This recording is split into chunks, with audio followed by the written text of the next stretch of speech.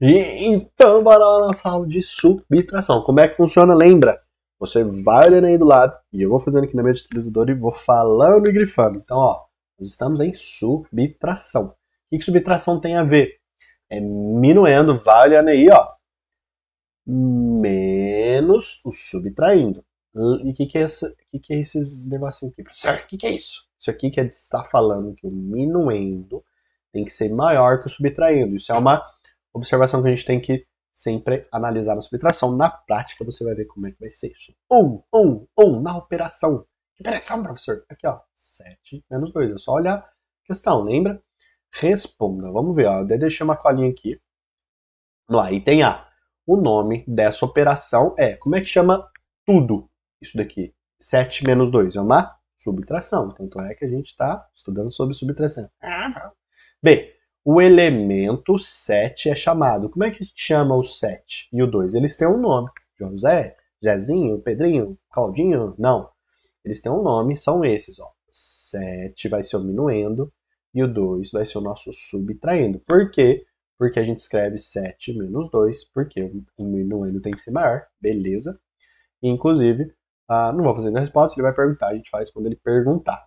Então, como é que chama o 7 e o 2? Minuendo e subtraindo, respectivamente. Legal? Entender. O resultado dessa operação se denomina, como que chama o resultado?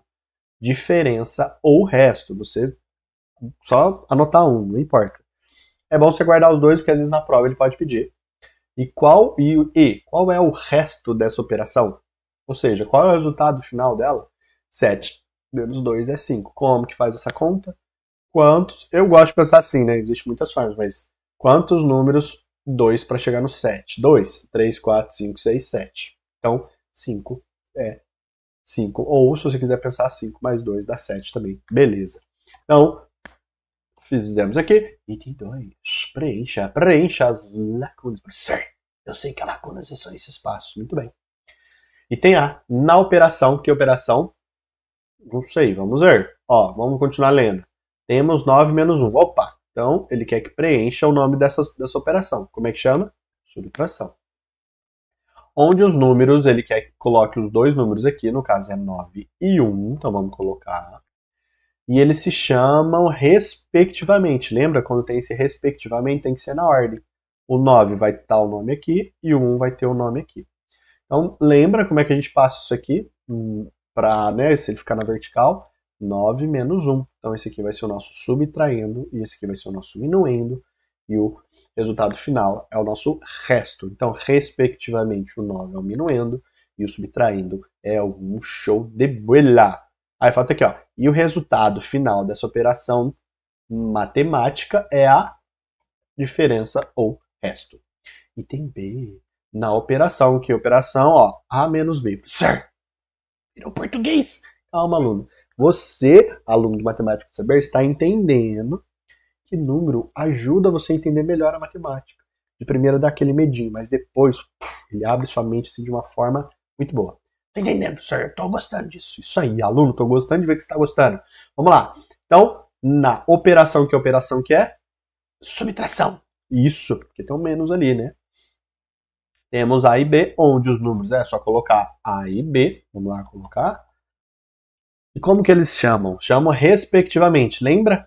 A menos B, sendo que A tem que ser maior e o B tem que ser menor. O nosso resultado final vai chamar resultado e é subtraindo e diminuindo, né? Então, respectivamente, o A vai ter que chamar obrigatoriamente subtrai, diminuindo, opa, e o B é subtraindo, que é o que ele está embaixo. Então, aqui tá errado, não vou gravar de novo, porque às vezes a gente acontece, por isso que é Bom ter atenção na hora. Aí você lembra, não, não, não, peraí.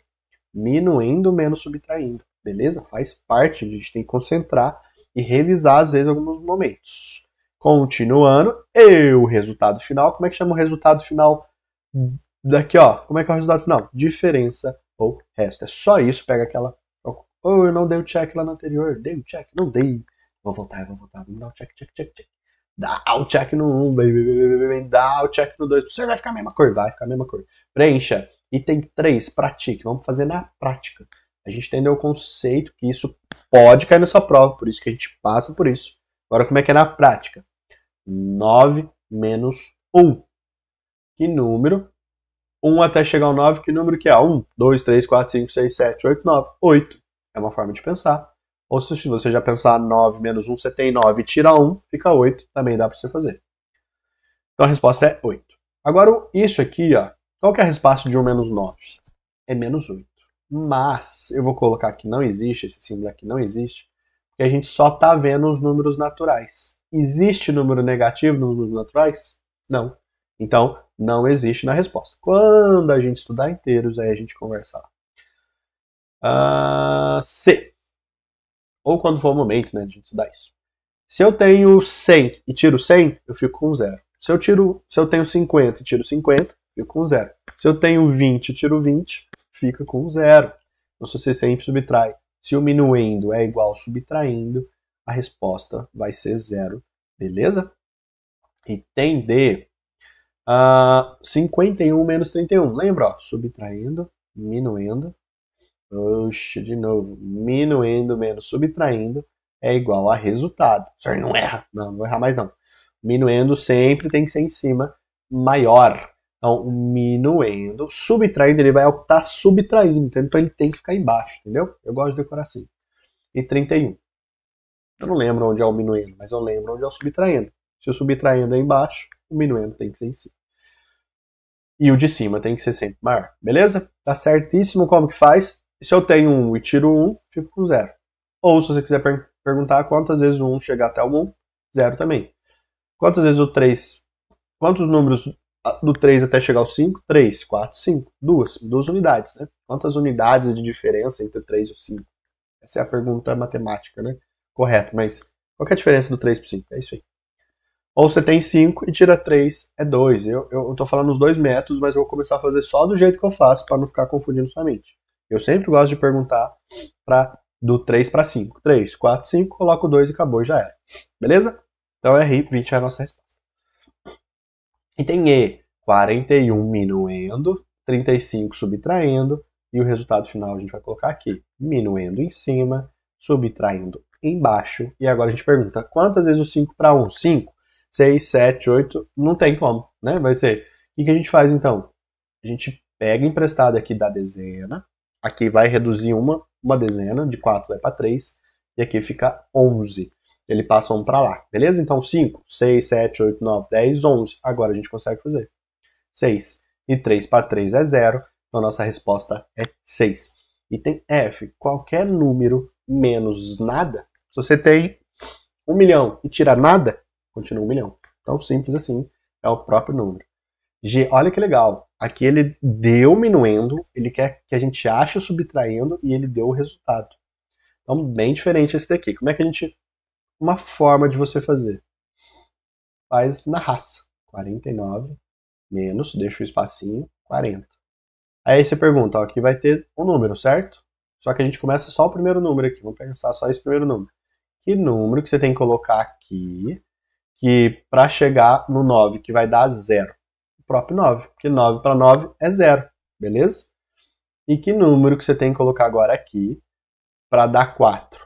Zero, porque ó, zero 1, 2, 3, 4. 0 para 4 são 4. Então a resposta é 4, ou seja, o nosso subtraindo é 9. Uma outra forma de você pensar, mais técnica, não é minuendo menos subtraindo igual a resultado. Se você já sabe fazer a equação, você vai conseguir entender. Vamos a gente quer achar o subtraindo, vamos deixar o subtraindo desse lado. Não vai esquecer desse menos, hein? Se aqui é positivo, você passa negativo para o outro lado. Então fica R menos N. Você entendeu o que eu fiz? Eu só peguei isso daqui, passei para o outro lado, negativo. Tem que sempre inverter o sinal. Tá vendo que tem esse menos no subtraindo? Para você mudar tudo, muda o sinal de tudo, que é quando você multiplica por menos 1. Não sei se você lembra desse detalhe. Mas o importante é você mudar o sinal de todo mundo, porque ó, onde é negativo fica positivo, onde é negativo eu vou deixar ele positivo, e onde é negativo eu vou deixar ele negativo. Onde é positivo eu vou deixar negativo. O que, que eu inverti a ordem? Só para ficar mais bonitinho, ó, M menos R. Agora lê comigo isso daqui. SMR, ó. Subtraindo. Para você achar o subtraindo, que é o que ele perguntou, é minuendo menos o resto. Se você fizer 49 menos 40, vai dar 9 também. Você é mais técnico, ele é mais elegante, digamos assim, você fazer. Ou se for um número pequeno que se faz na raça. Por que, que é bom você saber esse outro método? Ah, se for um número muito grande, está tá bem é, enrascado, né?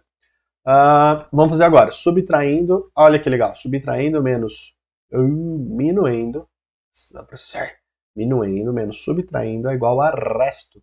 Se você quer achar o minuendo, é muito mais fácil. Passa, ó, vamos escrever tudo, né?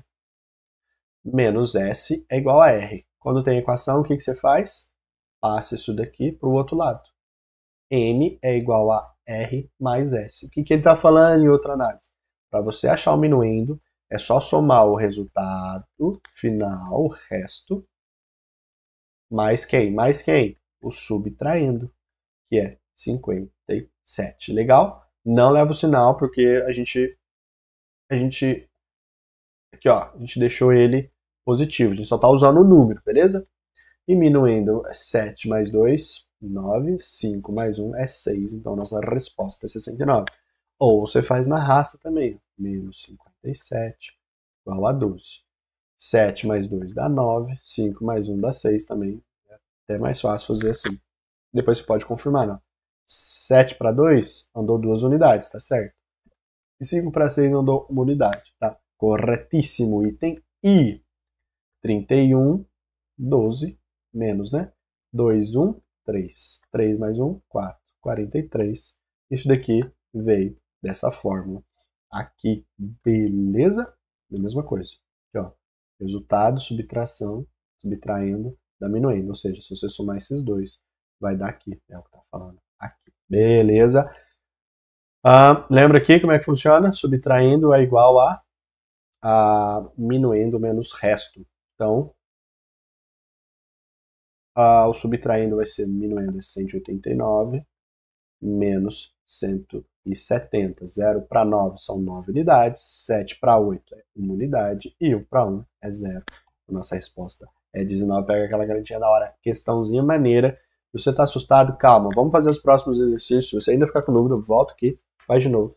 Mas vai dar muito bom. Vamos continuar trabalhando ainda a uh, subtração e várias cidades mais. Bora!